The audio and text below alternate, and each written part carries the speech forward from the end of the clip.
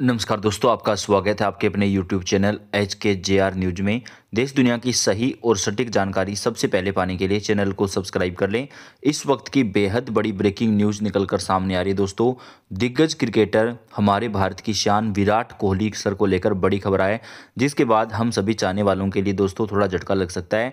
आज media reports में दिन भर ये खबरें चल रही है दोस्तों। विराट कोहली दो टी वर्ल्ड कप से क्या विराट कोहली हो जाएँगे बाहर? नंबर तीन पर दूसरे बल्लेबाज को मिल सकता है मौका। कई सिलेक्टर्स ये चाहते हैं। जी हाँ दोस्तों, विराट कोहली ने भारत को वनडे वर्ल्ड कप 2022 के पहले ही मैच में पाकिस्तान के खिलाफ अहम पारी खेलकर जीत दिलाई थी और 2022-23 का जो दोस्तों वर्ल्ड कप हुआ है, उसमें विराट कोहली ने शानदार जो प्रदर्शन है वो किया है। वहीं 2024 से विराट कोहली का की जगह टीम पर में जो है तीन नंबर पे ईशान किशन के नाम को लेकर जो है कोई लोग चर्चा कर रहे हैं। तो दोस्तों, आपको क्या लगता है, क्या विराट सर के बिना वर्ल्ड कप हो सकता है? क्या टी ट्वेंटी वर्ल्ड कप में आप ये कामना कर सकते हैं? तो आपकी क्या राय दोस्तों? विराट सर को लेकर आप अपने राय कमेंट बॉक्स में ज़रूर लिखें।